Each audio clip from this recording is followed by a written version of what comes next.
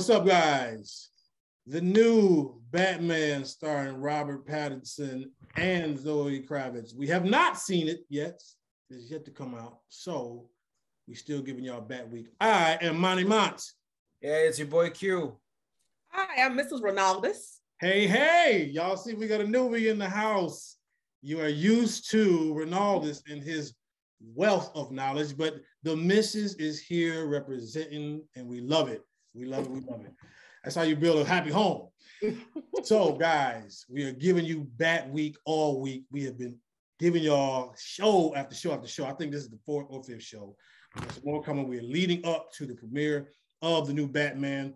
But since it's not here yet, man, we got a lot to talk about. So today we are talking about the best Bat villain in history. Who is our favorite Bat villain? And let me tell y'all, Batman himself has probably got more singular villains. And, and let me just, I gotta let, let me go through this right. The Joker, the Riddler, the Penguin, Two Face, Mr. Freeze, Bane, Scarecrow, Ra's al Ghul, Catwoman, Poison Ivy, uh, Harley Quinn, Killer Croc, uh, Man Bat, Clayface, Hush, Deathstroke, Firefly. I mean, just a can of plenty to choose from. All right, so it ain't no it ain't no no no worry about having content for Batman because I mean he's been doing this again. We talk about and his thing. You can do movie, you can do animated. You know what I'm saying? You can do TV show. You want to go old school with Adam West back in the day, and so and that's why if you pick, if the Joker comes up or Two Face, you got to say which one because you just can't say the Joker. You got to say specifically which one. All right. So that's how we're going to do it.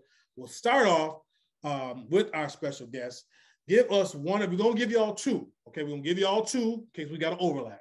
So give us one of, you can make it say if you say it, say it's your first or your second choice, but give us one of your villains against Batman, you're one of your favorite villains. Go ahead. So mine would be, my first one would be the Joker, the one that was played by um, when he had his own movie. Um, the last. You talking about Heath Ledger? No, yes. that's not him. Yes, Heath Ledger. Heath Ledger. He played the Joker. Okay. Now that would be to me the best villain because he was just pure crazy. if you hands down, if you look at his backstory, he was just if you if you local from Lansing, he was St. Lawrence fourth floor. I know you didn't. No, St. Lawrence, fourth floor. Yo, now, okay, he's on my list as well. All right. Wow. Um, Heath Ledger, I can't come on, don't don't look like that. I mean, no, no, go ahead, go ahead. I'm like, really. He won the Oscar for this, which was unheard of for a superhero movie. First of all, even be nominated for an Oscar, he won the Oscar.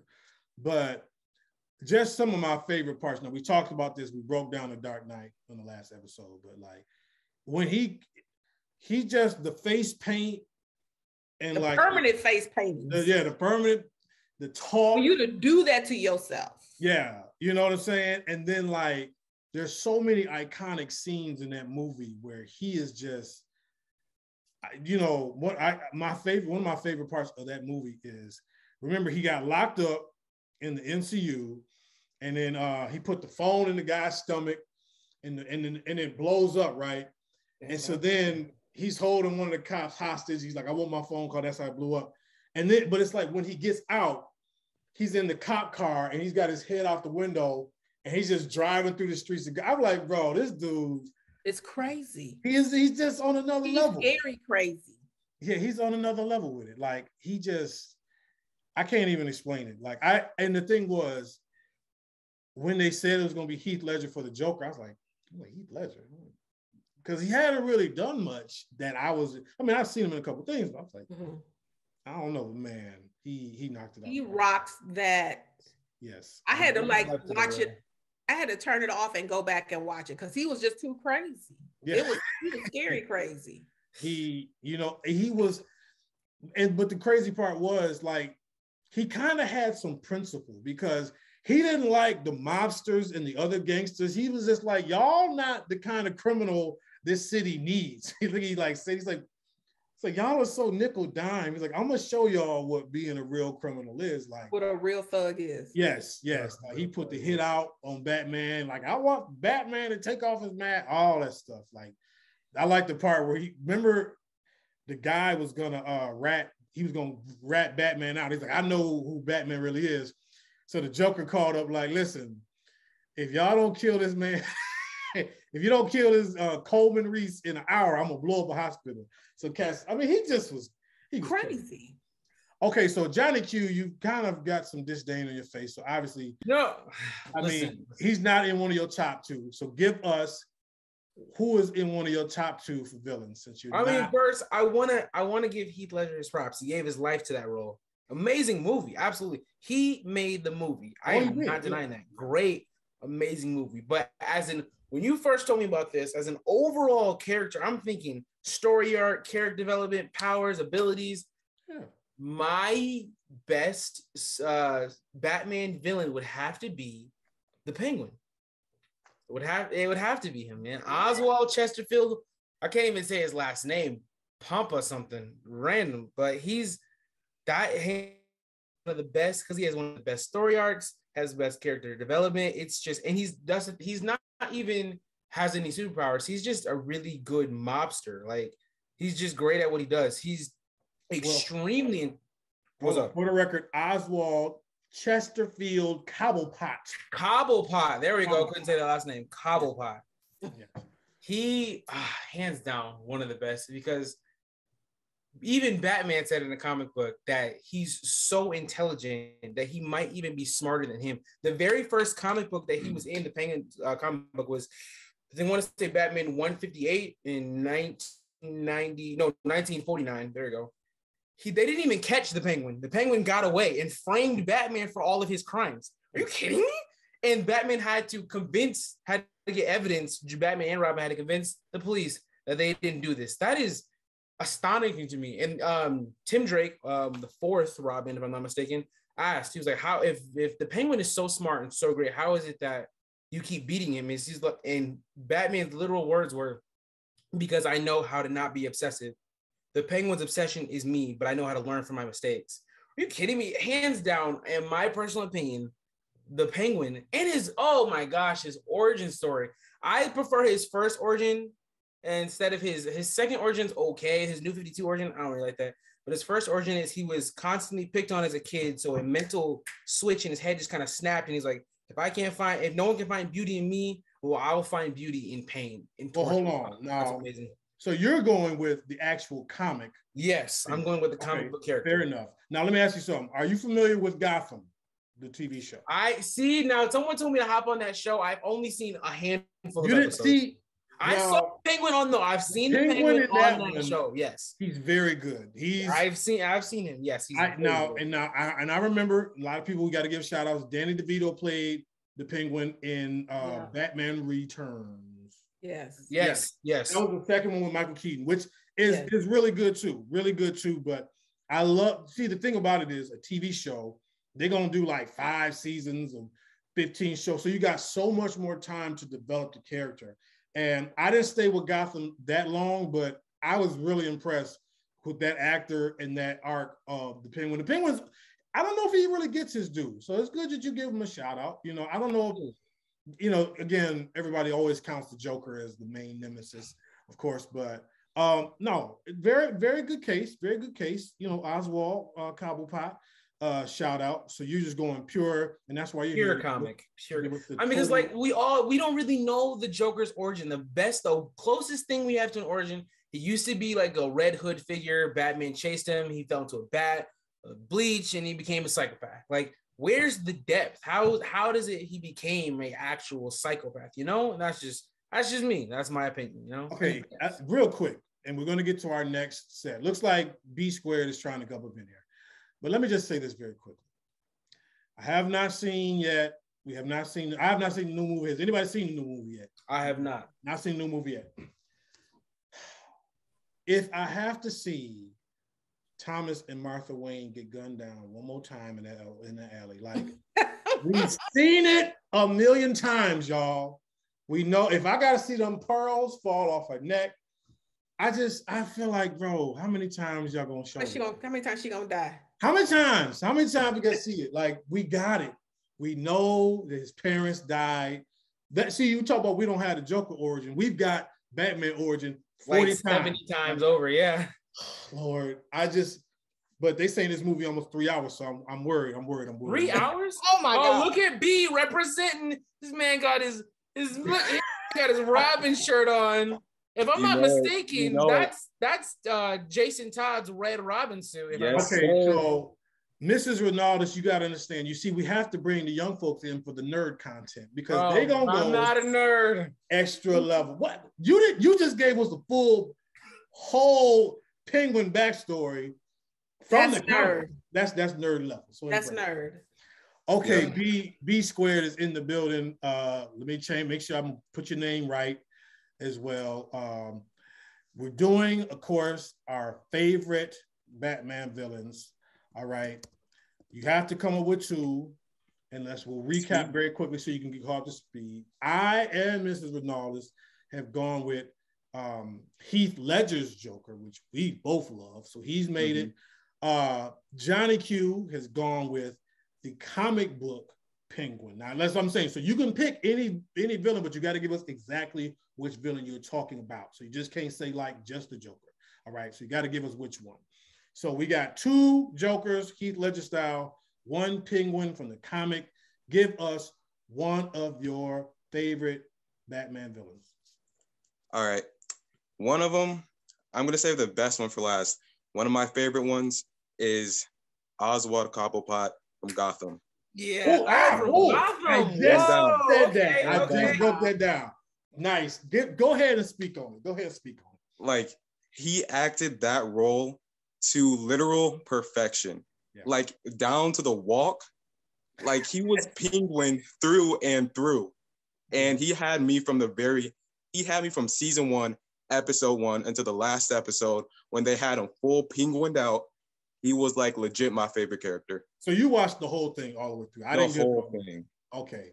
But see, and that's what I'm talking about. A TV show, you're gonna get so many episodes where mm-hmm. the character can develop. I he would be probably that character would probably be in my top five. If we were doing the top five, he'd be my top five. He just killed. Matter of fact, let me look this kid. Okay, if we were doing the top five, I'd actually say Martha Wayne's Joker is one of my is in my top five. I loved her Joker. She didn't get that much limelight in the comic books, but when in the in the Flashpoint paradox when she became oh, yeah. Joker, that she she did good. Like she was really psychotic. I love that, that movie was valid. Yeah, it was valid. Okay, so shout out the young man's name is Robin Lord Taylor, who played Oswald Cobblepot in the Gotham series. So we got a shout out to them. Okay, so let's do it again. So let's we'll recap very quickly for our viewers. We got two for the Heath Ledger Joker. We've got one for Oswald Cobblepot comic and one for Oswald Cobblepot from Gotham. All right, Mrs. Ronaldus, give us your second, not oh, maybe it is in order, but your second villain for Batman that you love.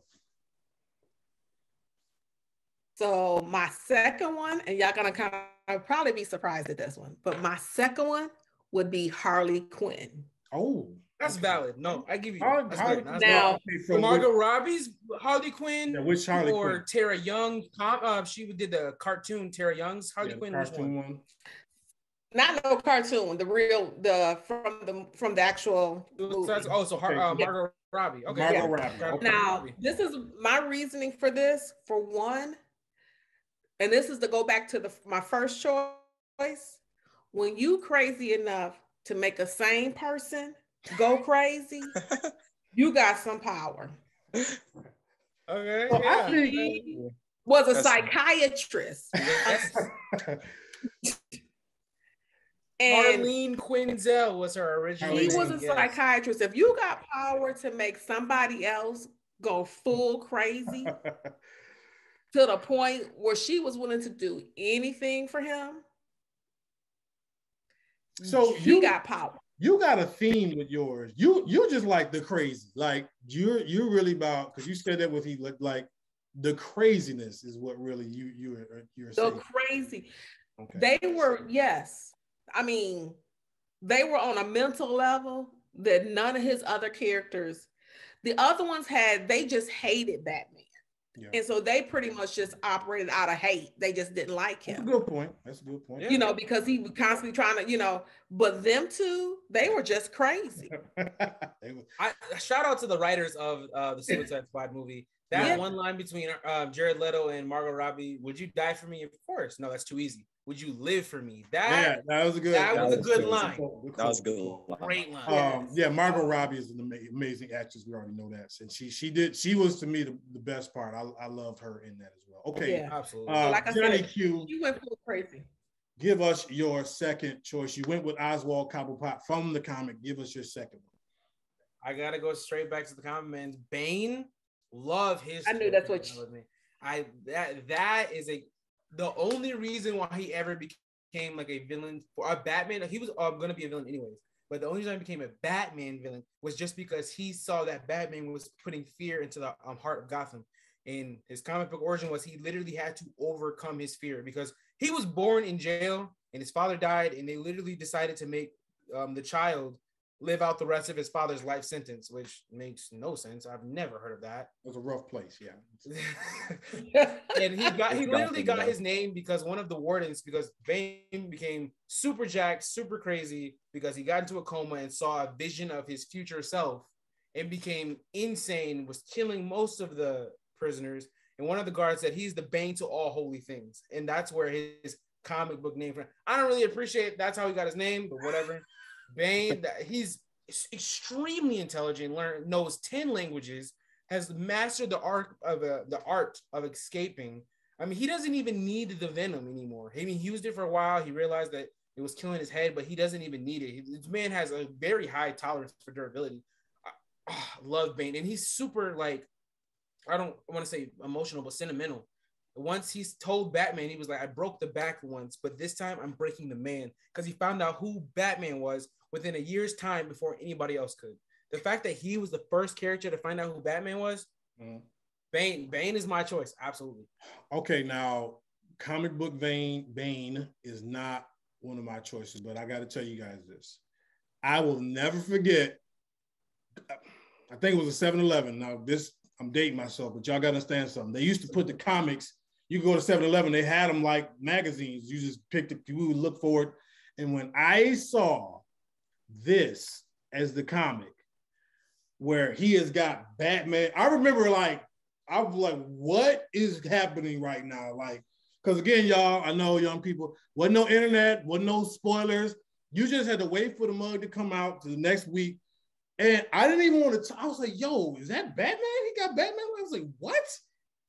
I I was just done. I couldn't believe. I said, yo, this dude is really breaking Batman in half. Like it was just for us, it was unheard of something like that to be happening. I mean, Shattered Batman his back a, and put him in a coma. Right, like Batman and took a licking, but not like that. And so now, so I'm giving that special. It's not on the list, but I'm giving that special because that's a very good pick. Okay, uh, B squared, give us your other Batman villain. It's it's a no brainer.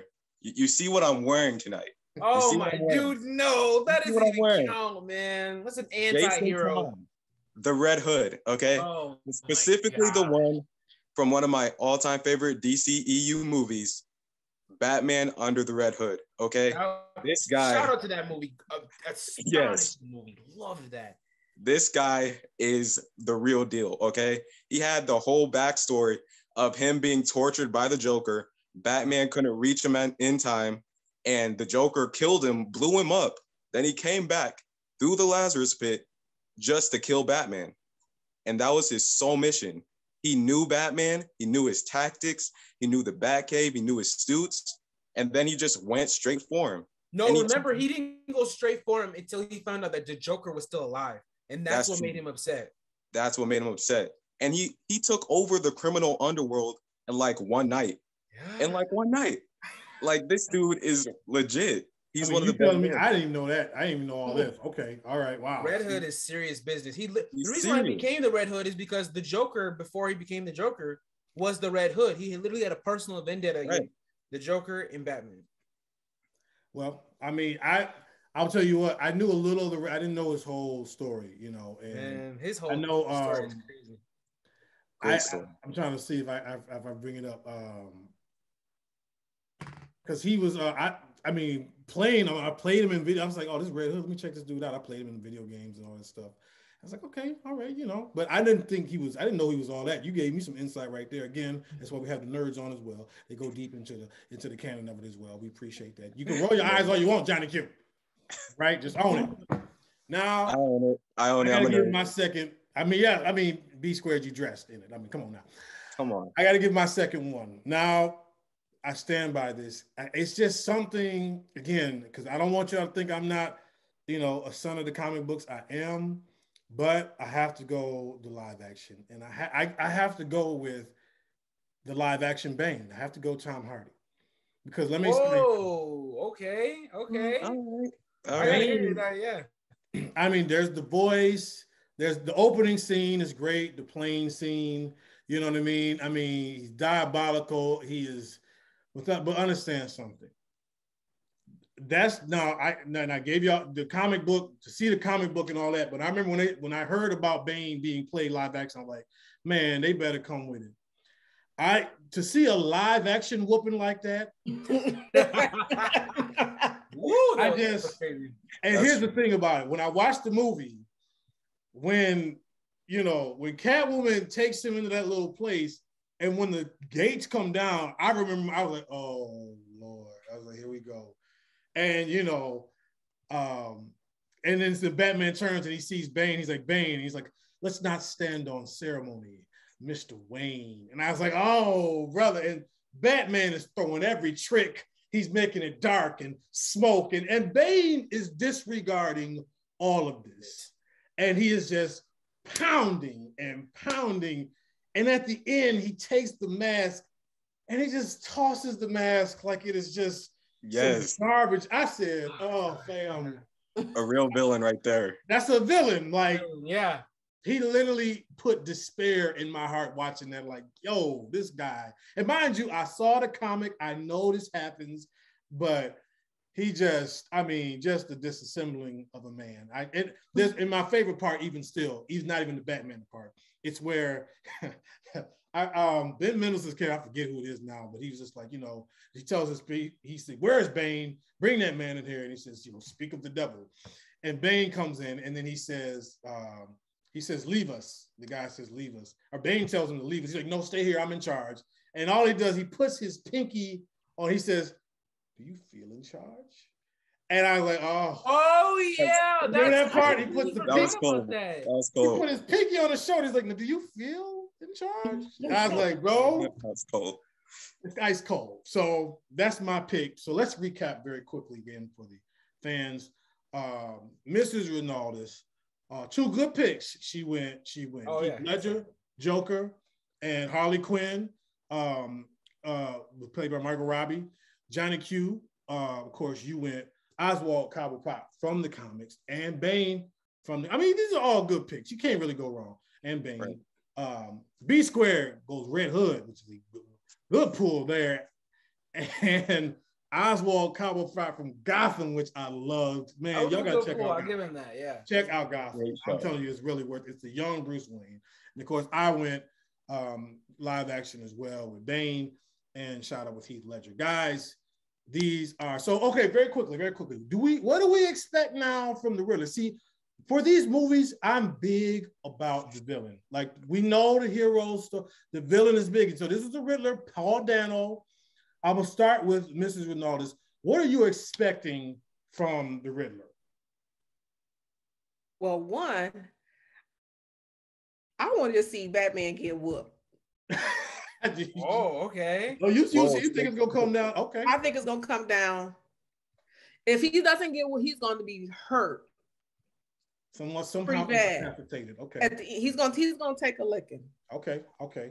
Because they one thing about it, they always make sure that they show that he is human. He's just a man. He he's man. human. He has no superpowers. It's true. So in all his movies, they always make sure he's portrayed as just a man. Okay, that's that's fair because this is the new Batman we have. So this is Robert mm-hmm. Pattinson. So we're gonna have to see some kind of vulnerability. Good point. Uh, B squared. What are you expecting from Paul Dano's Riddler? All right. So from the trailer so far, Okay, here's my inner nerd coming out again. From playing the Batman Arkham game series, it's reminding me of like that darker version of the Riddler with the riddles that like are just like and the way they put it in the trailer, I feel like it's going to be a darker form of the Riddler, not as witty or as funny, but I think he's gonna do a good job at it. I, I feel like it's gonna be good. Okay. All right, Johnny Q. Uh, you know, I have nothing against Paul, but the reason why I'll say specifically, I the reason why I didn't put the Riddler on my list is because in my opinion, he doesn't have the best like comic book story. So I I'm just glad last time we saw the Riddler was with Jim Carrey. Nothing mm, against Jim Carrey, but that mm. was that was not weird writing. That was not good. That was so I'm I'm definitely interested to mm. see what Paul does with the character. I want them to like B said, I kind of want a darker version of the Riddler because he was I don't want to say he was a joke because he's very intelligent, especially between the wars between him and Joker. But I just want to see this like yeah, the darker side of him because he had some some dark tricks in the comic book. So I want to be able to see that, you know, come out into fruition, you know, because I just I know it's gonna be better than what we had from Jim Carrey. Nothing against Jim Carrey though. Nothing against him. Well, okay. Again, now see you're not on Gotham. In Gotham, yes, there is a, a Riddler in Gotham who I again I liked him as well. Not as didn't blow me away as much as the Riddler, but he was a good good character. Uh, Very good. You know, Everett, you know, Enigma. So for me, I, I, I just I want to make sure I just want him to own his scenes. Like I really I don't want to like you know like when I would see on screen Heath Ledger, he just owned it. He just owned it. He just took up all the space in the room. Bane, he just his presence. So I hope the Riddler, however they want him to be, if it's physicality, if he uses the, the tricks, the jokes, I do agree with Mr. Vinaldis. I do want to see Batman in a vulnerable state, but I just want I want him to own it, like really make me just go deep. Like, okay, this is a villain I'm looking at here. So, um, and Paul Dano, you know, he, he's a weird guy. He plays some weird characters. So Listen, I don't uh, think guys, against him. I no, no, yeah, we're going to see because uh, we talked about this a couple episodes ago.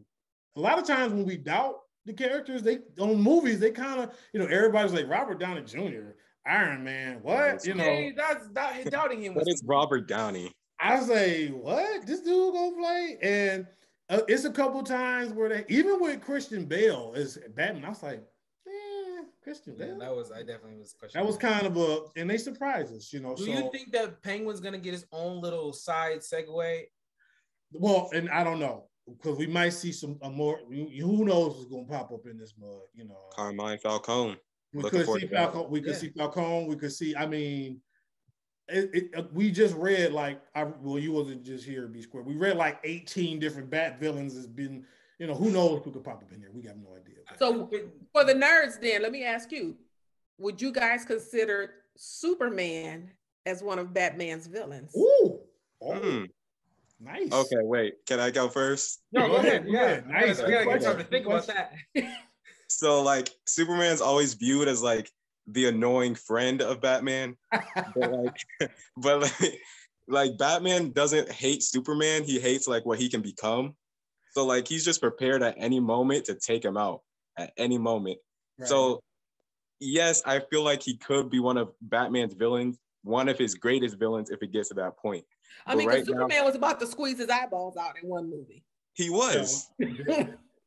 it, it, got it got a little tense. It did get a little tense. Yes, it did. And they did throw some blows in the movie before. I mean, they threw blows. Yeah. Um, Johnny Q, give us the comic from 1986, uh, episode volume four, number three. What happened there? Tell us. Oh my god! See now that's speaking of. I was gonna say it depends on the version of super because we've gotten a lot of bad, yes. bad Supermans. Very bad. Injustice storyline, dear God, we had to Top call tier. on another Batman and another Superman just to stop him. So yeah, he could potentially be one of his greatest villains ever. I mean, we all know, like we all there's always the argument Batman with a contingency plan. He always has a contingency plan. So we know he has like somewhere like a mountain full of kryptonite that he can just fly into. but. I think it was in the um Injustice storyline. He actually created with um, Martin Stein gold kryptonite to take away his powers permanently, never getting them back. Mm-hmm. So I don't know if our our Batman, the canon one, the usual Batman we have, has that contingency. But I will say, yeah, he's definitely considered. He could be considered one of Batman's Interesting. That's a good question. Yeah, I, I you know, it, it's kind of like frenemies, maybe. You know, where they just yeah. Like, there you go. Okay, we cool, but they don't don't they don't don't pop Keep your nothing friends off. close and your enemies even closer. right. There we go. I like that. I like that. All right, we're gonna wrap it up here, guys. I've enjoyed this one for sure. It is Bat Week on We Scene It. Check out all the ones we've given you show after show. We've talked about the Dark Knight. We talked about the best Batman. We talked about the best Batman movie. We're doing all this leading up to the actual movie, and we'll be excited to talk about that once we've seen it as well. Keep it locked, My-T-Sharp Network. I appreciate my panel coming on, even B squared dressing up. My goodness. Guys, Speaking of B squared's dressing up, do you want to do an episode on the Bat family? He he just he made me think of that. There's a lot of Bat family characters. If it comes to it, we could, we could. Who knows? But we will end it here for that. But stay with us, stay locked. We got more coming, guys. You know what to do. Always, always, always be blessed. Stay sharp. Thank you, guys.